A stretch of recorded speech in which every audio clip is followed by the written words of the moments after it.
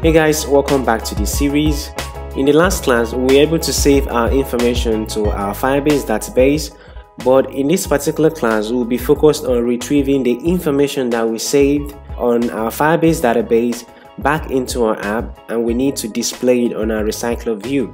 So if you're yet to see all the previous videos in this series, I'm going to put the link in the video description. I'll suggest that you watch them first and come back to this particular video so that you can be in sync with all that we are doing. So guys, let's get right into it. Now, the first thing we need to do will be to go to our Solution Explorer and create a new event listener.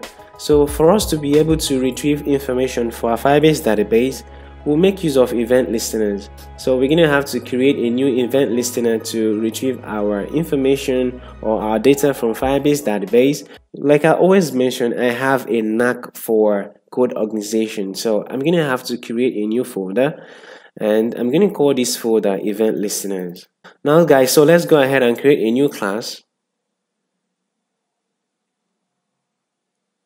So I'm going to call this class alumni listener. So this is where we are going to be implementing our Firebase listeners to retrieve our information from our, our database. So for this to be a Firebase listener, we need to first of all inherit from java.lang.object. So this is actually a necessity if you want this class to be able to implement the iValue event listener interface. So the next thing will be to implement the interface the iValue event listener interface. Okay, so we need to first of all resolve this by bringing in Firebase references. Okay, now that we have that, the next thing will be to go ahead and implement this interface. Boom. So I'm going to clean this up and I'm going to remove this as well. So guys, what we actually want to do here is to retrieve all the alumni and put them in a list and return it to our main activity. So all we're going to do first will be to retrieve all the alumni as you can see, currently we have only one alumni registered on our database. So we want to retrieve all of them and put them in a list and return them to our main activity. And when it gets to our main activity, we can now use it to set up our recycler view. Currently, we are only using the dummy data for our recycler view. So we want real data on our recycler view. So what we need to do here is to say if snapshot dot value it's not equal to null we need to check for null first and when this is not null i'm going to say var child equal to snapshot the children dot to enumerable of the type of data snapshot. So what we're actually doing here is that we're converting the snapshot to an enumerable. So this actually means that we can now loop through all the children in this particular snapshot. What this means is that let's say we have more than one alumni. Say we have 10 alumni here. So if we convert this particular snapshot, this alumni snapshot to an enumerable data, we'll, be able to loop through each of the children, that is, each of the alumni. We're going to see that in action just shortly. So all I need to do will be to loop through all the children in this particular snapshot. So I'm going to say for each data snapshot, I'm going to call this alumni data in child so at this point, we can now go ahead and grab the values in this alumni data. So I'm going to say alumni, I'm going to have to resolve this. So we have a new instance of our alumni. This is a data model. You can see it here. This is a class we created earlier on. So I'm going to say alumni.id. This will be equal to alumni data.key. So when I say alumni data.key, I'm actually referring to this, to this key, okay? So I'm actually, so what I'm doing is looping through each of the items. Paraventure, we are in the first item. This will be the alumni data key. That's for the first item. So I'm going to say alumni.full name. This will be equal to, so this will retrieve the full name of that particular alumni. So the next will be to say alumni.department. Now the next will be to grab the status. So this will be alumni.status. Okay. Now the next will be to grab the set dot to string. So the next thing we need to do will be to create a generic list that will take in each of these alumni. All right. So I'm going to go to the top of the class. So I'm going to make a new list of alumni. To do this, I'm going to say list alumni I'm going to call this alumni list. This will be equal to new list of alumni. So at this point, remember, rule of thumb, the first thing to do before you start adding item using a list is to clear the list first of all. So here I'm going to say alumni list dot add alumni, right? So this will actually go ahead and retrieve all the alumni we have in the list and add it to this alumni list. Now the next challenge will be to return this information back to our main activity. There's actually a very good way of doing this. So normally we can just went ahead and implemented this in our main activity. But that doesn't actually make our code very clean and organized. So a very good way of actually handling this is to use an event is to create a custom event that will send this list back to our main activity. So I'm going to show us how to do that. So to be able to do this, we're going to create an event. So before we get ahead and create our event, we first of all need to create a special event Args for this particular event that we are going to create. I can just go ahead and call this alumni data event Args, and this is going to inherit from event Args. So this is just the special part of it because we are creating a special event Args, but it's going to be inheriting from the base event Args, all right, which is this. Now I'm going to go ahead and say public list, list of alumni. So I'm going to call this alumni. I'm going to use get set. So now that we're done creating our special event Args, the next thing we need to do will be to create our public event. So I'm going to have this as public event, event handler of the type of alumni data event Args. So this is why we created these event Args earlier on so that our events will take in this type. So now I'm going to go ahead and call this alumni retrieved. So this will be the name of our event. So what is actually going to happen here is that when we invoke this event, it will return this alumni list into our main activity.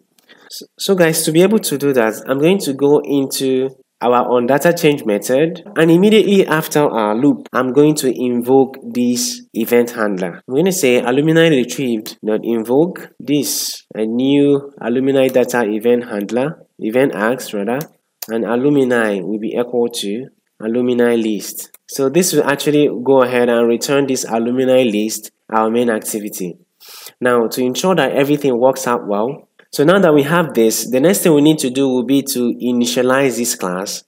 And to do that, we're going to have to create a special method for that. So I'm going to say public void. I'm going to call this method create. So this is the method that will initialize this event listener. So I'm going to go ahead and say database reference. I'm going to call this alumni ref. This will be equal to app data helper.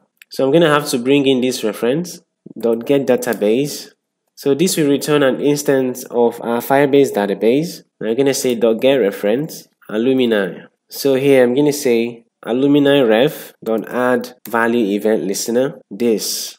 So this will actually go ahead and initialize this event listener. Now we need to go to our main activity and implement all of this. So in our main activity, I'm going to go to the top. I'm going to declare a new instance of our alumni listener okay so we need to resolve this okay so we have this resolved so we're going to call this alumni listener so now that we have this i'm going to need to create a new method this method i'm going to call it retrieve data so this method we handle retrieving our information from firebase database so to retrieve our data i'm going to go ahead and initialize the alumni listener we just created so i'm going to say alumni listener will be equal to new alumni listeners. So the next thing will be to say alumni listener.create. So this will go ahead and initialize the event listener. So the next thing we need to do will be to implement the alumni retrieved event handler. If you guys remember appropriately, we created this event handler in our alumni listener class. So I'm going to go ahead and say alumni listener dot alumni retrieved. I'm going to use tab to create a code block for that. So this is actually where we are going to be waiting for our alumni list to return to us. Okay. So the next thing we need to do will be to say alumni list will be equal to e dot alumni. All right. So this is actually the list that is being returned from our event listener. So like I said earlier before, this list will consist of all our alumni information and we're going to set it to the alumni list that we have in our main activity.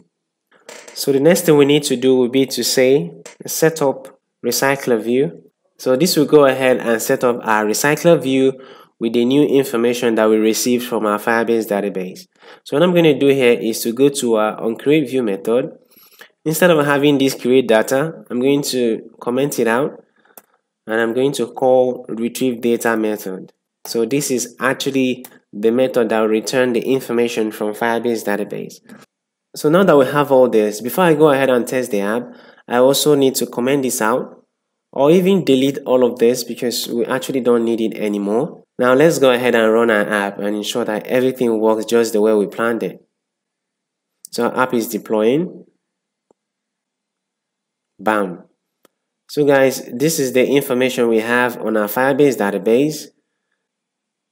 So the next thing we need to do will be to, you know, add some coloring for our status Let's say as we have this particular alumni as graduated, let's make the color to be green. And when he's failed, let's make the color to be red. You know, those kind of styles. And also, this needs to read department of, then following by the department. And this set need to be set 2009 or whatsoever. So now let's go back into our Visual Studio. Now we need to go into our adapter. Okay, so Inside of our adapter, we need to go to onBind view holder. So this is actually where we're going to be adding our customizations. So here I'm going to say if items, the position, the status is equal to graduated, the capital G. Now we're going to say holder, the status test, dot set test color. So all we need to do here is to set the test color, you know, to something green. So we're going to use color so we need to bring in this namespace. So we're going to say color dot RGB and I'm going to say 9 155 1 1 11 okay? So this is a shade of green. I'm going to go ahead and add this up. Bam. This will actually turn our test view to green color if if that particular alumni is graduated. So we're going to have to set a different color if the status is undergraduate. I'm going to say else if items position the status equal to undergraduate. So just to be quick i'm going to go ahead and copy this paste it here and i'm going to just go ahead and change the color codes. So this will do. Now the next will be for when the status is failed. We just change the color codes you know to something red. I'm going to just say color dot red. Very simple and straight to the point. So i'm going to set when the status is dropped out that's for people like Bill Gates and Mark Zuckerberg and the rest of them. So I'm going to set this to say color the maroon. Okay. So this is all we need to do. Now, like I said before, we need to add some customizations, you know, to the data. So instead of just having 2009 as the set, I'm going to just go ahead and say, okay, so this will now read set 2009. And for this, I want it to be department of so this is all we need to do. Guys, now let's go ahead and test our app.